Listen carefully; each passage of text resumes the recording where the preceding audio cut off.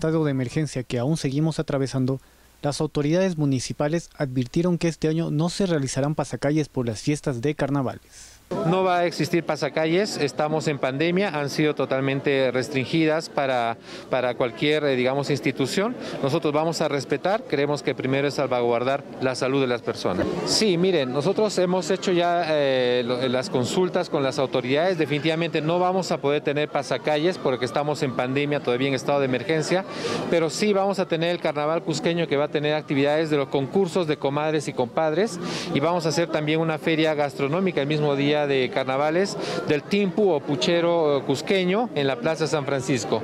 Son aproximadamente 30 gastrónomas que van a estar presentes presentando este plato típico propio de la gastronomía cusqueña de carnavales. A su vez, distintos centros de abastos e instituciones públicas y privadas podrán participar los días 17 y 24 de febrero en el tradicional concurso de armado de muñecos.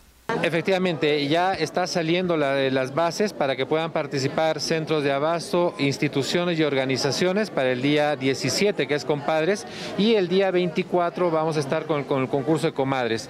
Vamos a, poner también, digamos, premios pecuniarios a manera de incentivo de los participantes de, estas, de, este, de esta expresión propia del Cusco del armado de los muñecos. Son cerca de, hasta el momento tenemos 18 instituciones, digamos, que ya están interesadas en su inscripción esperamos llegar por lo menos unas 30 eh, en lo que va del mes.